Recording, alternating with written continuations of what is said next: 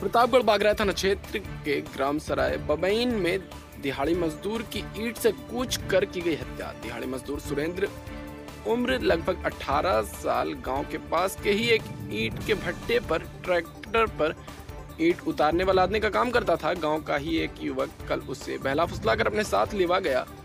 आज सुबह युवक की लाश मिलने से इलाके में सनसनी फैल गई। मामले की सूचना पाकर बागरा इंस्पेक्टर इंद्रदेव मैं फोर्स मौके पर पहुँच गए घटनास्थल को बारीकी से छानबीन करने के बाद आरोपी युवक को खोजते खोजते एक सरपतों के पास पहुँचे, जहाँ एक युवक छुप कर बैठा था। पुलिस उसे पकड़कर थाने ले गई।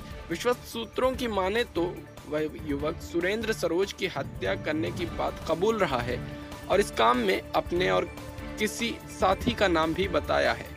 मौके पर कई थानों की फोर्स पहुँची है। जेठवारा एसओ मनीष पांडे, महेशगंज, दीनदयाल सिंह सकरदहा चौकी incharge Sanjay Pandey additional SP मौके पर पहुँचे हैं। पीएलएल न्यूज़ के लिए प्रतापगढ़ से रत्नेश शुक्ला की रिपोर्ट।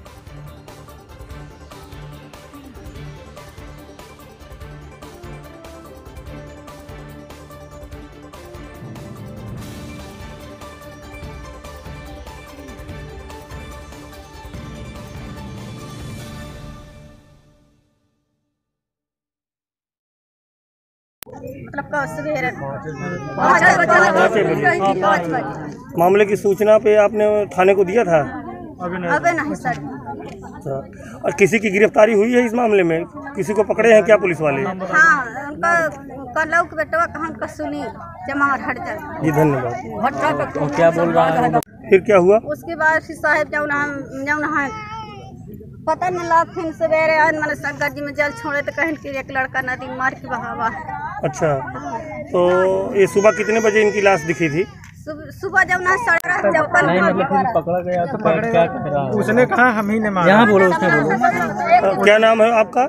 मेरा नाम राम अवतार है। हाँ तो क्या हुई थी? घटना हुई थी तो मैंने यहाँ सुबह देखा तो उसके पास गया जो जिसके साथ रहता है। हम्म। तो उसके पास गया तो मैंने उसको पकड़ा जंगल में। हम्म। गार्डन में घुसा था कुछ में। हम्म। तो उसे पकड़ा तो बोला कि मेरे साथ नहीं था। तो मैंने जब उसे दो रहपट मारा तो बोला हम ही हम ही लोग थे।